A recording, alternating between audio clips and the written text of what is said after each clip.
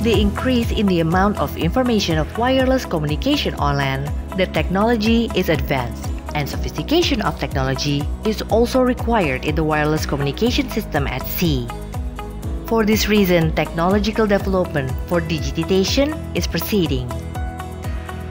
In the WRC, World Radio Communication Conference held in 2015, in order to improve the data communication environment at sea, the frequency used in VHF Data Exchange System BDES using a part of the frequency of the international VHF system was allocated. This system is expected to facilitate data communication between the ship and the coastal base station.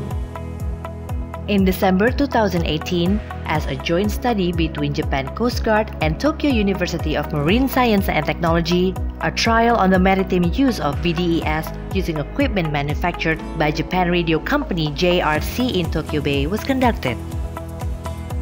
In this trial, VDES equipment was installed at the Traffic Advisory Service Center Tokyo Martis in Kanonzaki, located at the entrance to the Tokyo Bay, and on training vessel Shiojimaru,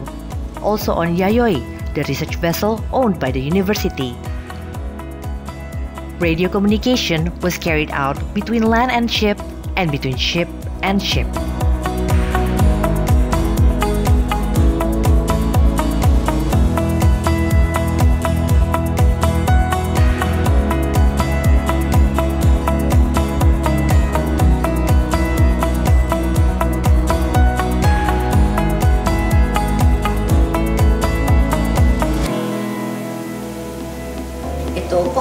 VDS の実験は、えーと、陸上局と弥生と塩地丸という 2, 2つの、えー、船を使って、えーと、実際の、えー、海域で、えー、実際の周波数を使った実験になります。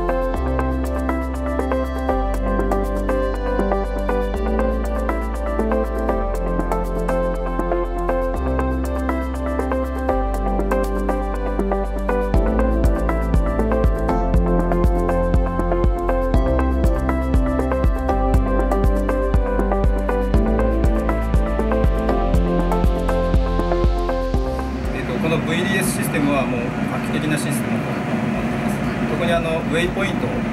なんかは、え今後大きな船がどういったコースで走るかというのも視覚的に分かりますし、え監視完成する方側からですねそのウェイポイントを手で視覚的に実行すると。そしてま情報提供するということができるというのが最大の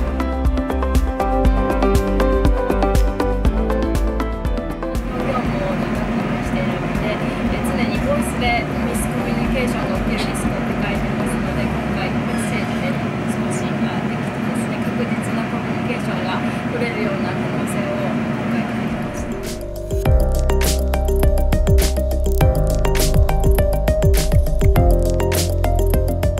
会場で実験を行うことで、え今後どうやって使っていったらいいかというより具体的なアイデアがイメージできるのではないかなと考えています。